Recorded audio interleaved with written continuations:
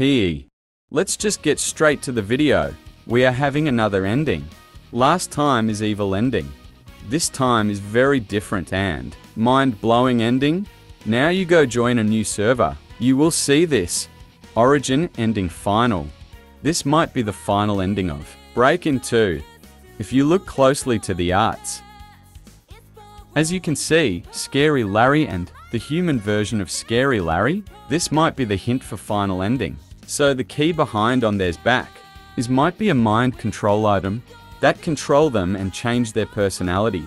In this ending that we are helping, Scary Larry turned back to normal human. So the release date might be October 21st or 22. I think there is all for this video because Cracky hasn't added a new badge for it. Thanks for watching and stay safe.